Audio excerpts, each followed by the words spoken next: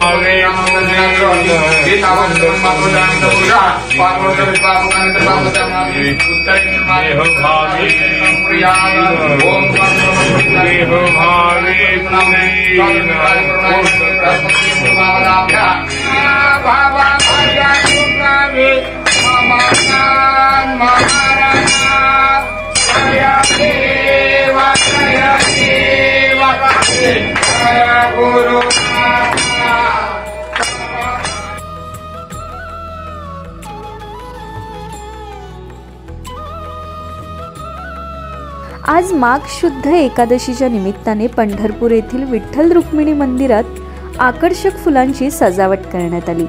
देवाचा गाभारा चौखांबी सोळखांबी सभामंडप अशा ठिकाणी झेंडू गुलाब आष्टर मोगरा अशा विविध पानाफुलांची आकर्षक सजावट करण्यात आली. पुण्यातील भाविक सचिन चव्हाण यांनी ही सजावट केली आहे. गेल्या सहा वर्षांपासून त्यांची ही सेवा सुरू आहे. माघी यात्रेच्या निमित्ताने पंढरपुरात सुमारे चार लाखांहून अधिक भाविक पंढरीत दाखल झालेत. पंढरीत भक्तीचा महापूर आलाय.